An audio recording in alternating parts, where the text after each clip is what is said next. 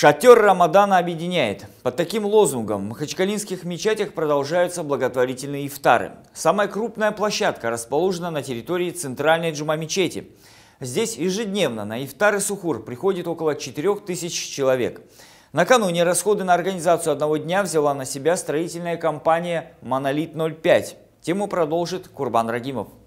Чтобы наши сердца со Всевышним шли. Коллективный ифтар – время особой радости для верующих. Это не просто вечерняя трапеза, но и хороший повод для встречи. В один из последних дней Рамадана финансирование ифтара на территории Джума Мечети взяла на себя строительная компания «Монолит-05».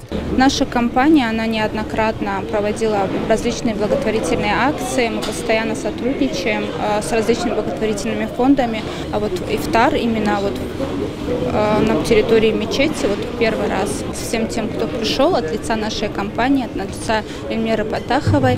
Спасибо всем, кто принял участие в данном ифтаре. И, думаю, не последний раз встречаемся.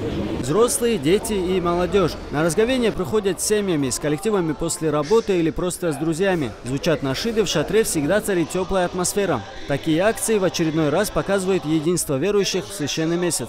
С добрыми пожеланиями к собравшимся обратились сотрудники компании «Монолит-05», а также приглашенные друзья и партнеры. Среди них представители органов власти, депутаты и титулованные спортсмены. Мы же видим, сколько молодежи, взрослые, все эти люди приходят сюда. Они приходят сюда не просто даже покушать, чтобы они вот приходят сюда увидеть джамаат, увидеть людей, да, и вот как бы отдохнуть душой и сердцем. Это очень важно, потому что хорошие дела, если они входят в нашу жизнь, мы должны это поддерживать, продлевать вот это все, чтобы мы этим самым вытесняли плохое. Очень плохое в жизни происходит, и вот такие мероприятия успокаивают душу и объединяют наши сердца. Это такое мероприятие, которое вот ифтар в совместно делают, люди общаются, люди друг с другом видятся, и какой-то эмоциями делятся. И вообще я считаю, это объединяет ифтары людей, духовно объединяет. Поэтому это очень нужная вещь. Вот республиканское было, городское было, районное, все делают. Вот так вот, если будут все и бизнесмены участвовать в таких мероприятиях делать, у нас вообще процветание будет в Дагестане, побольше будет. Дай Аллах здоровья, удачи, успехов вот таким людям, как Эльмира Монолит 05. С первыми звуками азана верующие разговляются водой и финиками. Затем после вечерней молитвы приступают к коллективной трапезе. Основное блюдо здесь уже фирменный узбекский плов.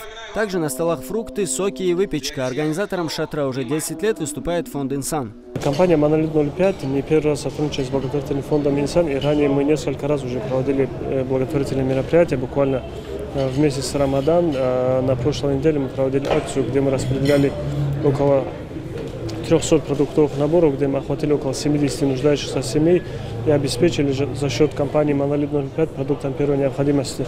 И, как мы видим, сегодня это мероприятие прошло, было очень много, э, большое количество людей, э, все были довольны, все люди благодарили. Хочется пожелать удачи руководству компании «Монолит 05» за э, то, что принимает участие в таких социально важных мероприятиях принимают участие в благотворительных мероприятиях. Ифтары и забота о малообеспеченных семьях – это лишь небольшая часть благотворительных инициатив, о которых рассказывает «Монолит 05». Многим своим акциям компания не придает публичности, считая это лишним. Здесь уверены, добрые дела всегда возвращаются старицей. Курбан Рагимов, Нурмагомед Магомедов, телеканал ННТ, Махачкала.